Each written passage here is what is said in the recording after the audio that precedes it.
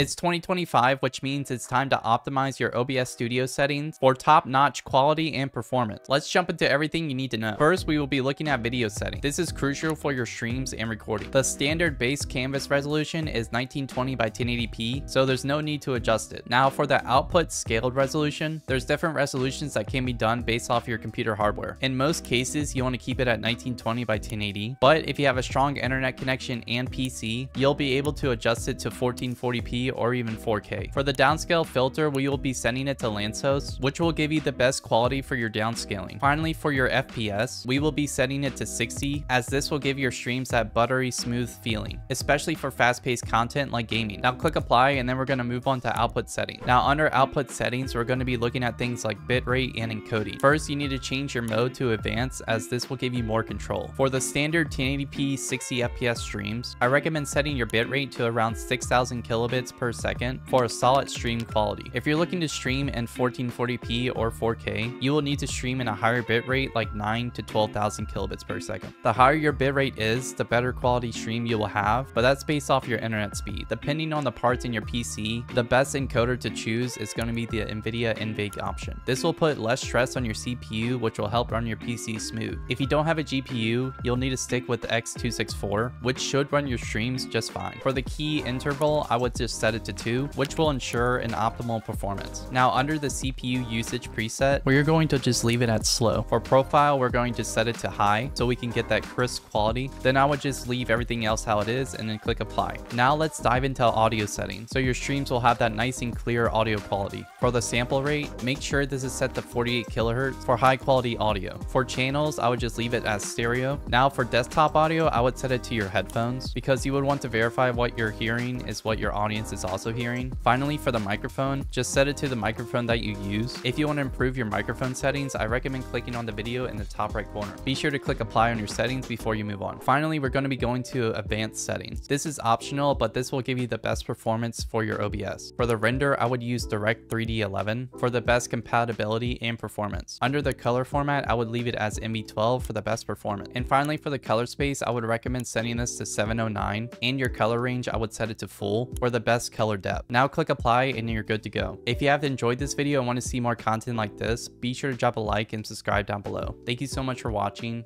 Peace out.